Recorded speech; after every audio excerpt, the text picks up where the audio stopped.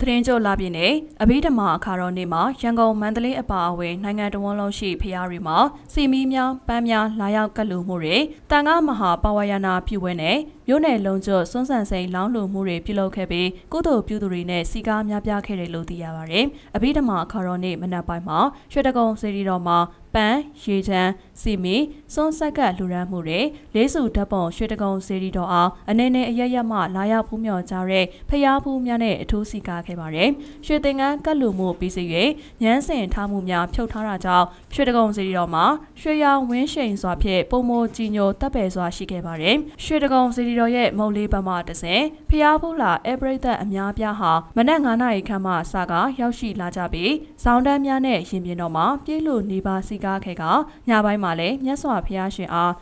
စီမီဖျောင်းတိုင်မီများနဲ့ပူဇော်သူများနဲ့အထိုးစီကားခဲ့ပါတယ်။ဖျားဖူးလာရောက်သူမှာဖျားဖူးရင်ငယ်များရင်ကြီးများနဲ့အနေနဲ့အရရက်လာရောက်ဖူးမြော်ခဲ့ကြပြီးဗုဒ္ဓထောင်စီတီတော်ဆွေတော်မြတ်စီတီတော်ကိုထက်ကြီးဖျောင်း၆တက်ကြီးဖျောင်း ငါးတက်ကြီးဖျောင်းမဟာဝိဇယဖျောင်းစုလေကဘာအေးဖျောင်းဆွေတော်ဗုဒ္ဓထောင်ကြောက်တော်ကြီးစတဲ့ဖျားစီတီများမှလည်းစီကားများပြားခဲ့တယ်လို့သိရပါတယ်။မန္တလေးမြို့မှာတော့မဟာမုနိဖျားကြီးတို့မနက်အစောပိုင်းမှာဖျားမျက်နာတော်တဲ့အမေလာရောက်ဖူးမြော်သူတွေနဲ့စီကားပြီးရေသက်ပယ်ခြင်းများ ပန်းစီမီကတ်လူချင်းလိပ်စာငါးစာကျွေးခြင်းများနဲ့စီကားခဲ့ပါတယ်။မန္တလေးမြို့ရဲ့တကိုးကြီးဖျားများဖြစ်တဲ့မန္တလေးတောင်အောင်တော်မူဖျားမဟာတက်ကြမာရစိန်ကြောက်တော်ကြီးဖျားစန္ဒာမုနိဖျားကုသိုလ်တော်ဖျားများနဲ့တခြားတကိုးကြီးဖျားများမှာကုသိုလ်ပြုဆုတောင်းသူများနဲ့စီကားခဲ့ကြပါတယ်။အေယာရီတိုင်းဒေသကြီးဇလုံမြို့ မန်အောင်မြင်ပြည်တော်ပြန်ဖျားကြီးမှာတော့အော်တိုဘာလ12 73 14ရက်နေ့တို့မှာ3ရက်တိုင်ဇလုံမျိုးစီမီကိုတောင်ပန်းကိုတောင်ရေချမ်းကိုတောင်ကတ်လူပူဇော်ပွဲကျင်းပလျက်ရှိပါတယ်။အခုလိုပူဇော်ပွဲကျင်းပပြုလုပ်ခဲ့တာဟာ29ကြိမ်မြောက်ရှိပြီဖြစ်ပြီးယခုနှစ်မှာပလဲရက်တုအကျိုးကျင်းပပြုလုပ်ပူဇော်ခြင်းဖြစ်တယ်လို့သိရပါတယ်။ဒီတောင်းတန်းတဲ့တခုလေးပြည်မှာပြက်စီမီတွေနဲ့ပူဇော်ထားတာရှိပါတယ်။ ပြီးတော့ရင်ကျွန်တော်တို့စီမီအစ်စ်တွေနဲ့ပုံပေါ်ထားတာလည်းရှိပါတယ်ပုံစံမျိုးမျိုးနောက်ပန်းစင်ဒီကလည်းပန်းစင်ဒီပုံစံမျိုးနဲ့ဒီနေ့ထူးဆန်းလေးတွေလုပ်တာလည်းရှိပါတယ်ကျွန်တော်တို့အပွဲကနေလွန်သွားတယ်ဟိုကိုလဝင်းစီဒီမှာလည်းကိုလဝင်းလူငယ်တွေကနေပြီးတော့တရားမှုတွေကိုစိတ်ဝင်စားကြအောင်ကောင်းအောင်ဘုန်းကြီးတော်ရုပ်ကလေးတို့ရုပ်ရုပ်ကလေးတို့တို့တာဝရိနာနဲ့ဘုရားဆင်လာတဲ့ဘုန်းတို့နောက်ရေသမ်းရေသမ်းမှုနဲ့ဇေဒီလေးတွေနဲ့စိတ်ဝင်စားကြလုပ်ထားတာရှိပါတယ် အာကျွန်တော်တို့တွေကလည်းစီမီပန်းရေချမ်းတွေကိုလည်းယခင်နေ့ဒီလေကောင်းတဲ့ကောင်ကိုပေါ်ထားတဲ့အတွက်ကြောင့်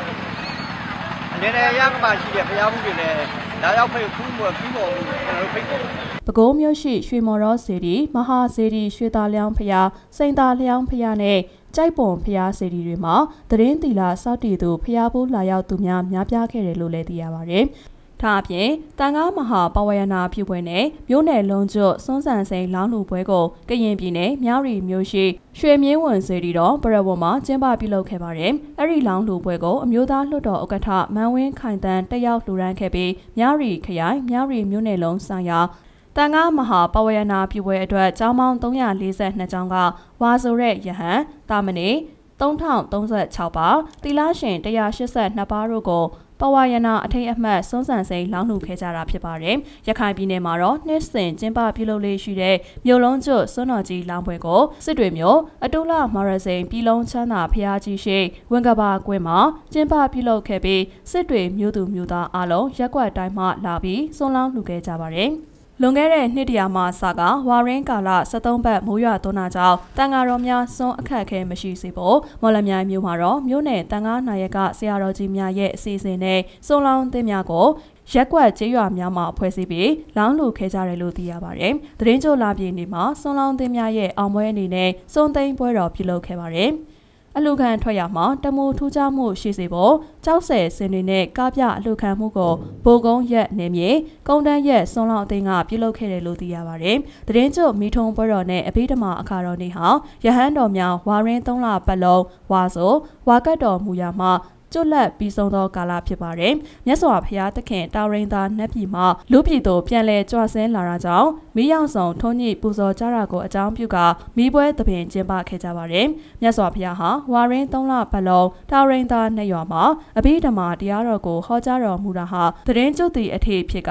ဤဒီကိုရည်ရွယ်ပြီးသတင်းကျုပ်လာပြည့်နေ့ကိုအဘိဓမ္မာအခါတော်နေ့သတ်မှတ်ခဲ့တယ်လို့တမိုင်းမှတ်တမ်းများအရသိရပါတယ်။